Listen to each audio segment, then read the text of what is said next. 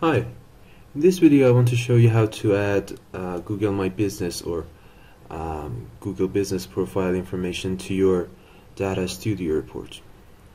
Okay, so as I see I have something, um, uh, an empty template here so we can use it uh, to import the data.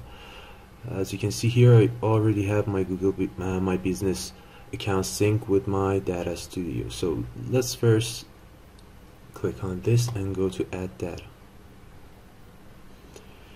Here you can just search for Google My Business.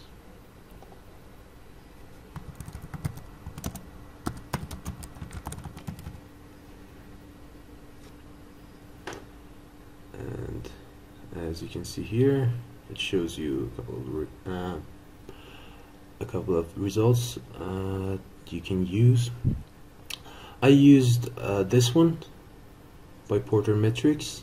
It was easy to use and it was free.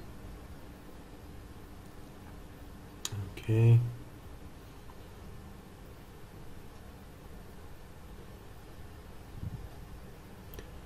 As you can see here, I have my information synced. Just uh, scroll down and here you can select one of the locations that you have.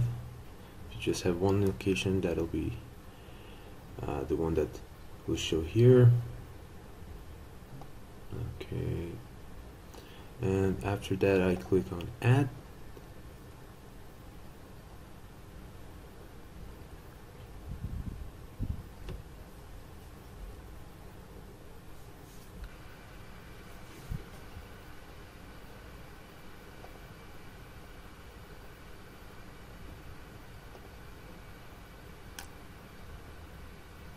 and as you can see now the uh, sync is completed and I can see the Google My Business here and here.